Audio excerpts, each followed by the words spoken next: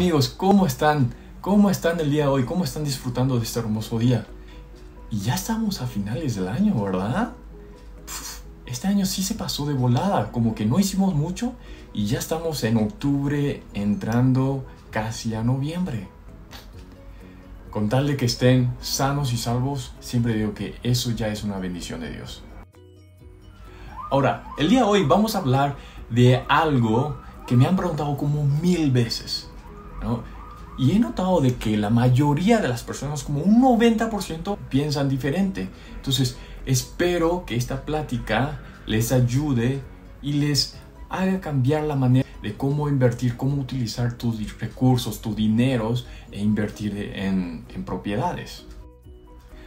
Entonces, aquí les va la pregunta. Alex, si tienes dinero, si tienes los recursos, ¿comprarías o rentarías? Pues fíjense que esa pregunta en sí no está muy clara, porque ponle que tenga 5 millones o 10 millones de pesos. Obviamente invertiría en bienes raíces y me compraría una propiedad. Ahora, ¿viviría en esa, en esa casa o departamento? No, absolutamente no. Veo que ya ustedes están poniendo esa cara que... ¿ah? ¿Qué haría entonces? Yo rentaría la casa o el departamento en donde yo viva. Ahora sí que ustedes, sé que están rascando la cabeza y diciendo, pues este vato no sabe de qué está hablando. Paciencia amigos, paciencia. Aquí les va mi razonamiento.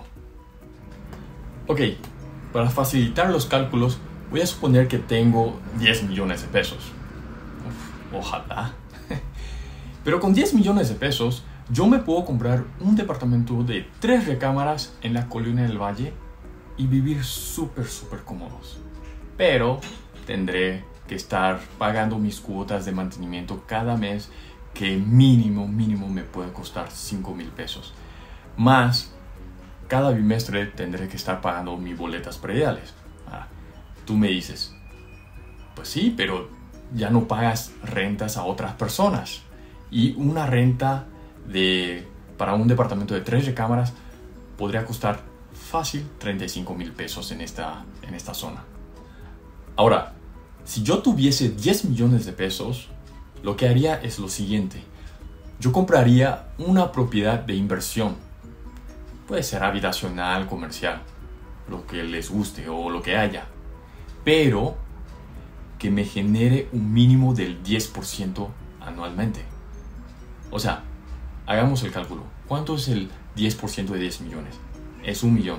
O sea que esta propiedad me tiene que generar anualmente un millón de pesos de ingresos. Lo dividimos por 12 para calcular cuánto es por mes y nos da 83.333 pesos. ¿Me siguen? Amigos, con 83.333 pesos yo puedo pagar esa renta de 35.000 al mes pero fácilmente, fácilmente. Y todavía me sobran 48 mil pesos, 48 mil 333 mil pesos, que lo puedo utilizar en otras cosas, irme de viaje a comprar algo que siempre me ha gustado, o ahorrármelos, que al año tendría unos 600 mil pesos extras.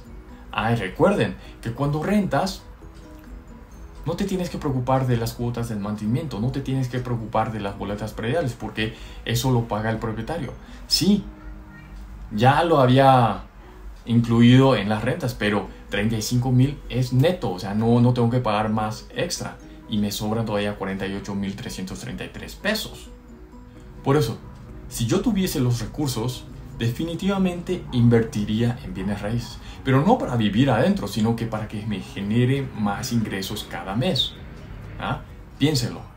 Y espero que esto les haya ayudado a, especialmente a ver de un punto de vista diferente. Y si quieren que les ayude a hacer un ejercicio con nuestros números, sin problema, déjenme unos comentarios abajo y ahí lo hacemos. ¿va? Nos vemos en el próximo capítulo.